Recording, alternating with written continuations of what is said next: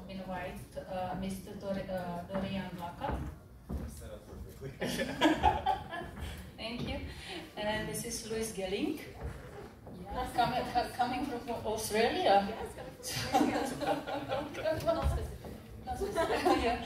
So the webpage, very nice webpage, very nice ladies. Well, thank you. yeah, also there with your colleague.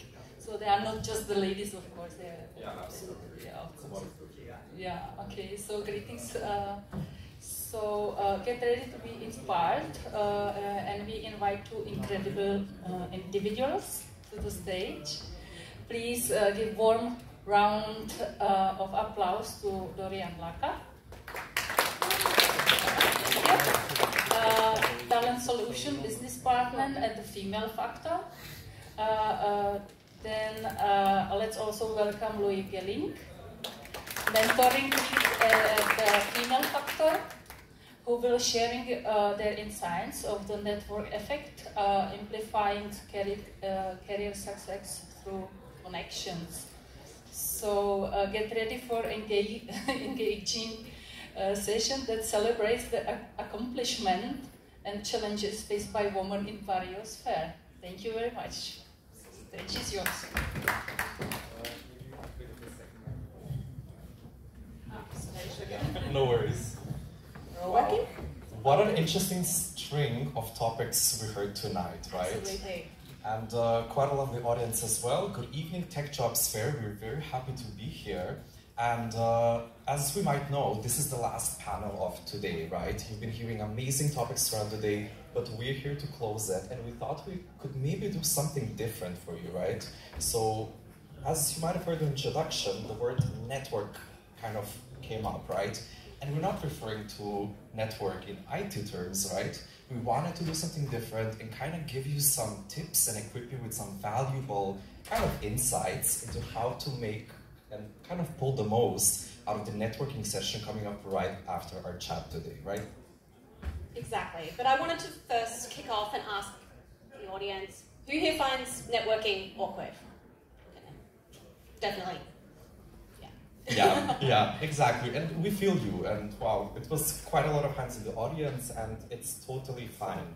Uh, on that note, um, don't worry, we're basically here to kind of uh, suit that out for you and in general uh, give you valuable tips on how to harness the power of networking and uh, then kind of connect it to communities and tell you how you can use this uh, the aspect of networking to propel your career forward, especially in tech.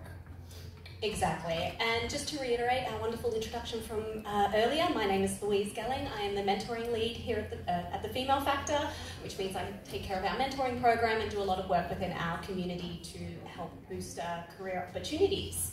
And uh, as mentioned also, I'm Dorijan Dlaka. I'm the Talent Solutions Business Partner at the Female Factor, which I know can be a bit confusing. So what does Talent Solution Business Partner mean? It, I'm basically the bridge between our global talent community and employers are seeking to uh, basically hire top diverse talent, right? But more on that maybe a bit later. So you're probably all wondering, what is the female factor?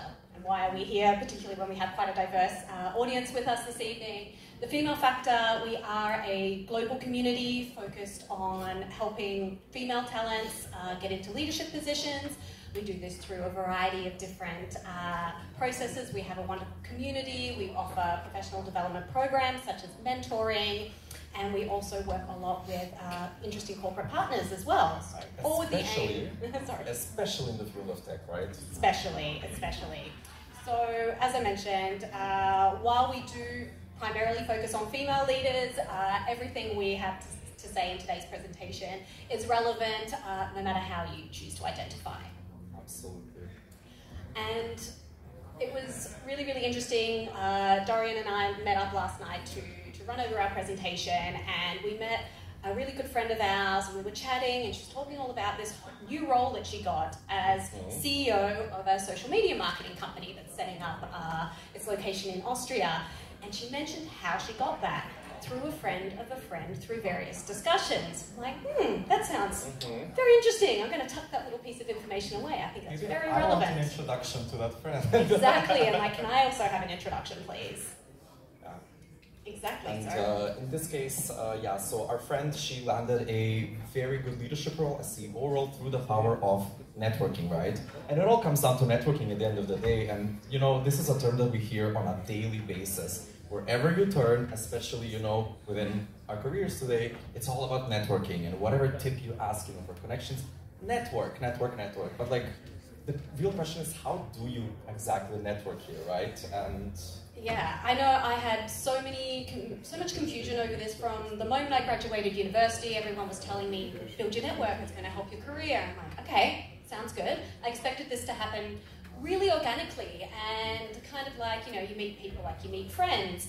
And so I was kind of building my career slowly, and then boom, I moved from Australia to Austria. I knew no one, and I was expected to find a job, build a life, build a career here, and that's when I really started to understand the value of having a network.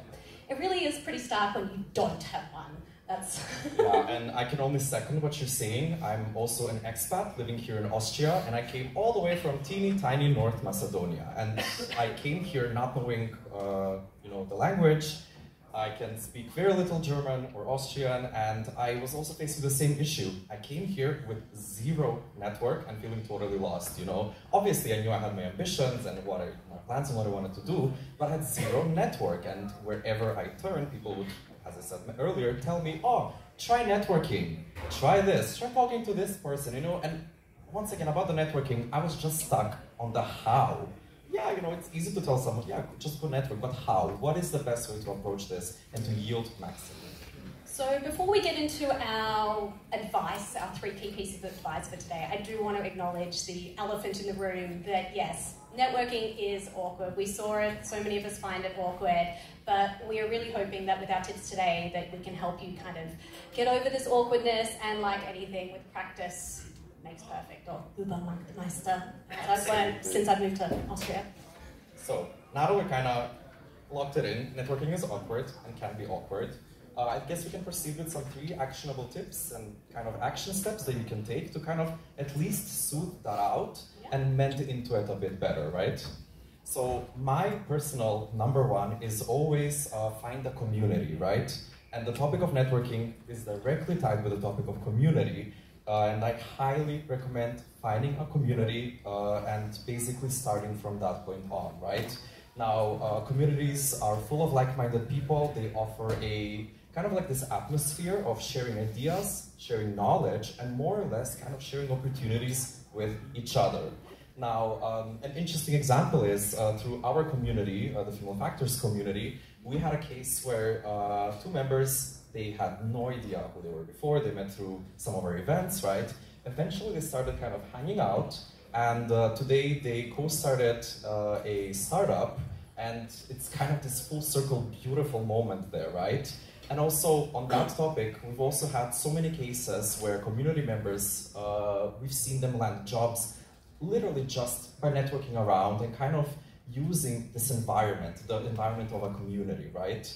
But uh, I guess the question here is how? How do you join a community? And like, you know, obviously I can shamelessly plug our own community here, but in general, there's so many communities, especially here in Austria and basically wherever you turn, that can offer you such a space, right? It's all about being proactive and uh, kind of knowing and being aware of what you stand for, what you want to engage in, and the direction in which you want to go, right? And yeah, just again, some few examples to be more concrete. I know uh, Austrian Startups is a really good community. Uh, if anyone's still studying, ISAC is a great community.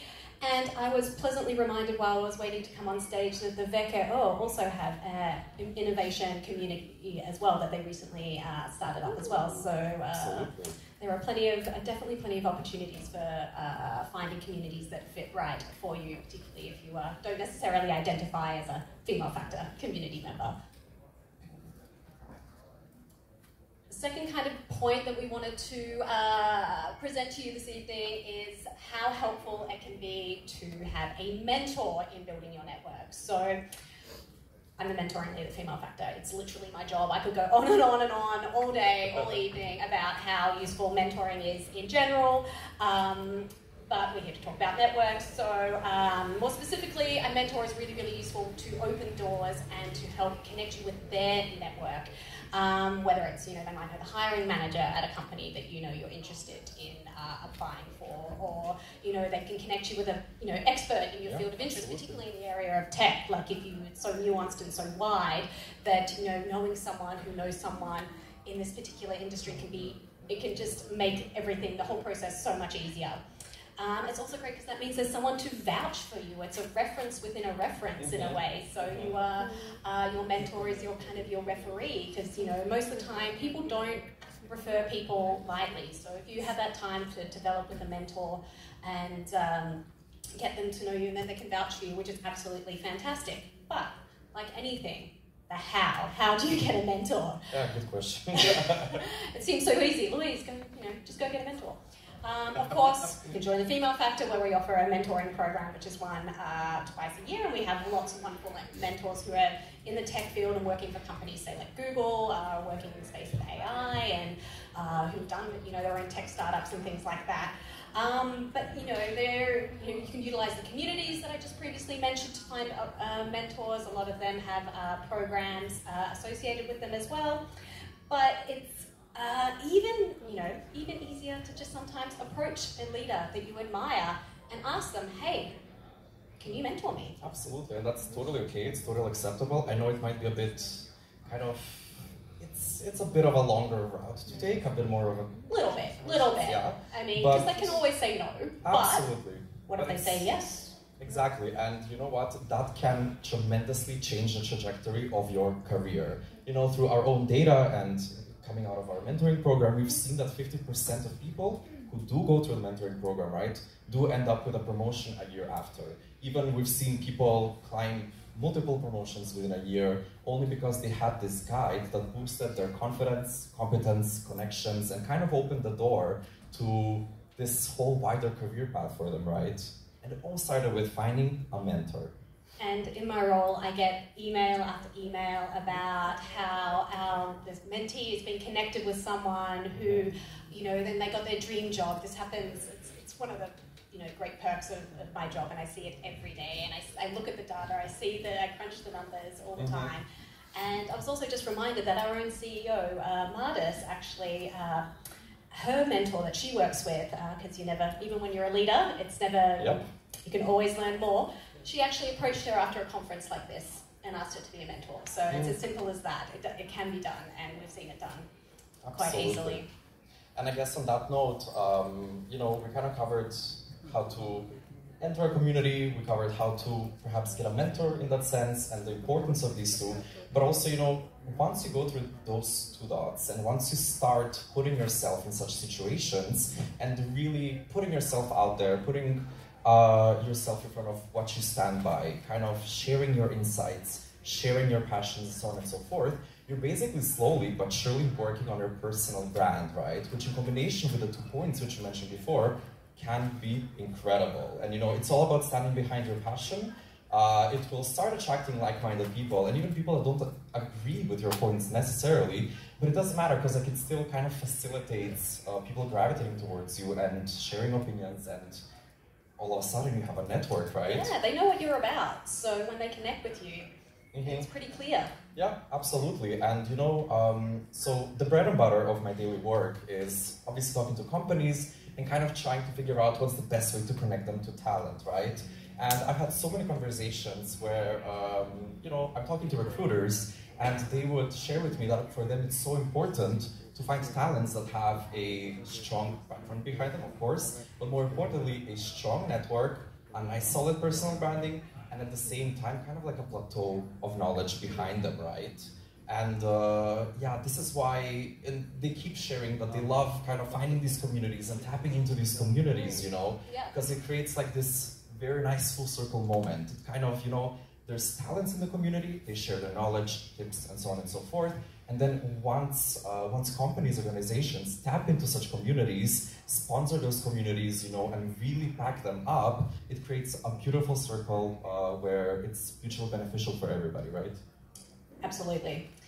That said, so those are our kind of three overall pieces of advice, but we wanted to uh, actually leave you guys with some, something a little bit more concrete that you can maybe even apply in the, the session that comes after us. So we're going to run you through about, what is it, five? I think five seems to be the, uh, Yeah. the number of the day um, today. So we're going to run you through five tips that uh, really can help help you to boost your confidence with networking. Absolutely. Number one, of course, be authentic. So it's all about being authentic and being true to yourself. And uh, in general, people appreciate that, people notice it, and at the end of the day, uh, you are going to thank yourself a lot more, you know. Absolutely. And uh, for tip number two, I always like to uh, have my conversation starters ready to go. So, uh, and also some follow up questions I can always Mhm. ask in case, like, you know, conversation slows and things like that. Um, I always like to kind of start off with, you know, depending on the context, like today, oh, what brought you to this conference or event today? It's a really great open ended question. Uh, you can talk about, you can ask about the speakers, uh, who did you see today, um, and things like that. But this also follows the kind of related tip is to ask questions. Keep asking questions. Uh, people love talking, so Absolutely. ask those questions and have your conversation starters ready. My other tip, I guess, would be to follow up. So let's say you had a great networking session at an event, right? And you met some amazing leaders, you had great conversations, and cool. But what then? You know, it's about following up, uh, perhaps messaging on LinkedIn or wherever you message, you know, and kind of keep the conversation going. And I feel like in that way, it kind of transcends between, you know, meeting somebody in private, like in person, you know, and then kind of taking that online as well, you know, especially after the pandemic. And The And- And people really appreciate this, and it feeds into your personal brand as well. Because Yep. if you if you mention it during conversation, hey, I heard about that job opportunity at that company, and then you follow up with that person, and you go, hey, I remember how I said about this job opportunity. Here, here's the link. Um, you know, it shows shows you follow up. It's, you know, Yep. people you get a reputation for being reliable and things like that. So it's really important. Again, as Dorijan said, a quick message on LinkedIn, also to say, hey, lovely to meet you at this conference. I hope we can connect again soon. You know, it really matters. Follow it Yeah, up. It's a little absolutely. little thing, but it can make such such an impact. Plus, you, I feel like you're kind of setting in stone the relationship you created during this event, right? Yeah.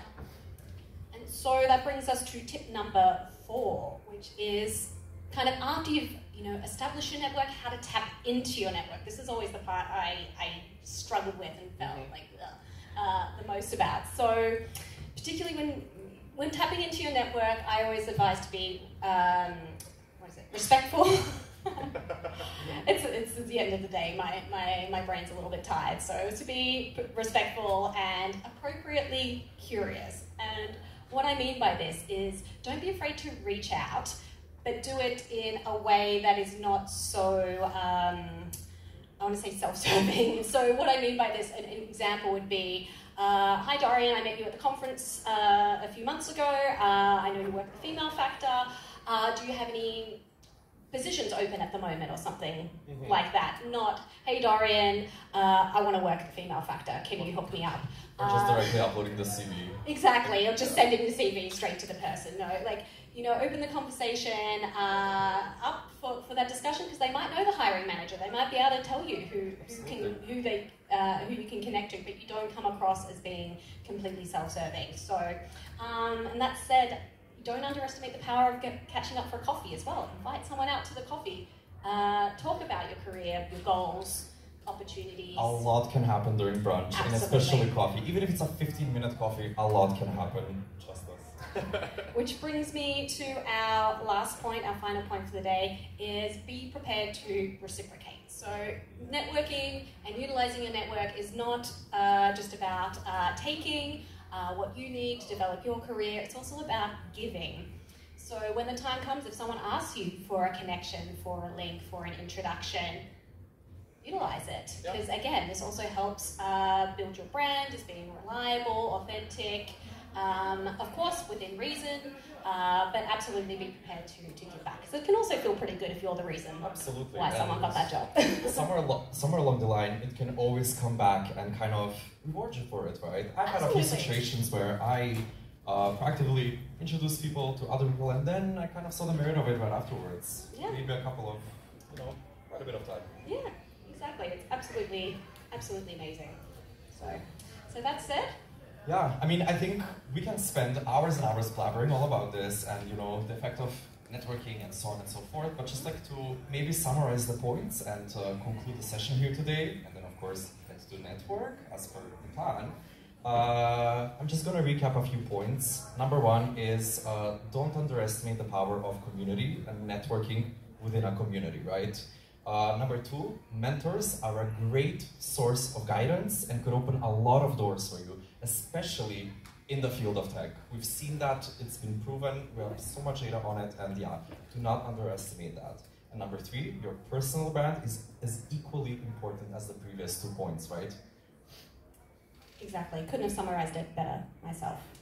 So uh, that said, uh, can we like skip to our final slide, maybe? So that said, uh, don't forget to check out the Female Factor if you are interested. We have a uh, it's our community that's waiting for you.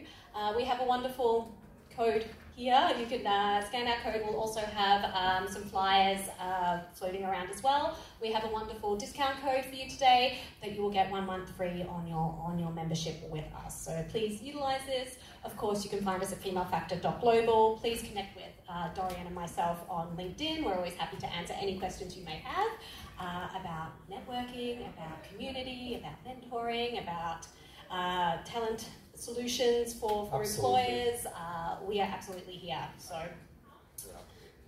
That being said, we're very much looking forward to seeing you hopefully apply some of these tips. Uh, we also hope that this kind of like eased up the situation a bit, you know, and opened up some ideas that you could utilize, uh, especially within the field of tech. It's such a competitive talent climate, both on a B2B and also on a talent uh, side, right?